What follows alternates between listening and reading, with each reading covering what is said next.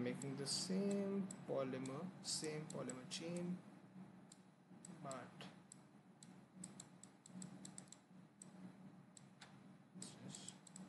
it's just that I've taken slightly different sections of the polymer chain. So like this. So now um, what will happen is that uh, these two polymer chains they'll be parallel to each other and there'll be hydrogen bonds over here there will be hydrogen bonds over here because you know that oxygen is highly electronegative and since this hydrogen is attached to a nitrogen the hydrogen is highly polarized. It has a high partial positive charge because nitrogen is very electronegative. So there will be hydrogen bonds here. And actually um, we can just uh, just we can make this on top as well. It doesn't really matter we can make this on top as well. So not on top uh, let it stay where it is. Let me make a, another chain. Let me make another chain. So let's have again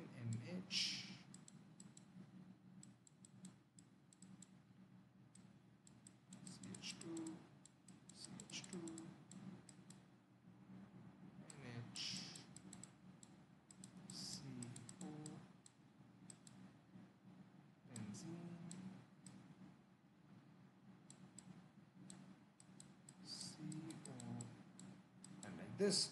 So then we have hydrogen bonds over here and we have hydrogen bonds over here. So you can see that all these polymer chains are attracted to each other by these hydrogen bonds and you know that hydrogen bonds are the strongest type of intermolecular force. So because of these this hydrogen bonding uh, synthetic polyamides have some really amazing properties like nylon and Kevlar they're very strong materials in fact Kevlar is used in used in bulletproof vests and bulletproof helmets. And, uh, and, and nylon is used as a thread. It's a very strong thread. Kevlar is also used in like uh, wire mesh and everything because it's very strong. And are, nylon and kevlar are so strong because of these hydrogen bonds between the polymer between the polymer chains. So the intermolecular forces between the polymer chains give some very peculiar properties to uh, uh, synthetic polyamides, uh, especially nylon and Kevlar. So you can now know why nylon and Kevlar are so strong because of uh, a very large network of hydrogen bonds and there are millions of polypeptide chains parallel to each other like this. And the polypeptide chains themselves are very are very big. So even the even the van der Waals forces are strong so the hyd- there are hydrogen bonds there are strong uh, stronger van der Waals forces compared to other molecules so they ought to be very strong. Now, um, let's do proteins. So uh, now that we have done synthetic polyamides, we are going to do proteins which are natural polyamides. So uh, amino acids have the NH2 group. If you've watched my playlist on organic nitrogen compounds, then you know that an amino acid has an NH2 group.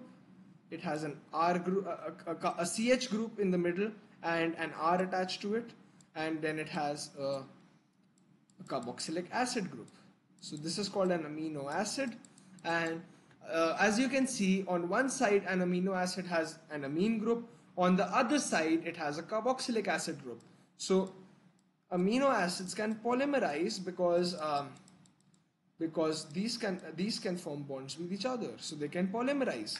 So the the water molecule will be eliminated and uh, it will be a poly, an amide will be formed because obviously CONH amide bond. And when several amino acids different or the same link together they form um, uh, proteins. So proteins are very important. Uh, they are formed when amino acids polymerize like I've shown to you. And they are also called polypeptides protein uh, because the amide bond is, can also be called the peptide bond so proteins are also called polypeptides so uh, the, it's just nothing, it's the same thing. So if you don't get confused, confused between polyamides and polypeptides.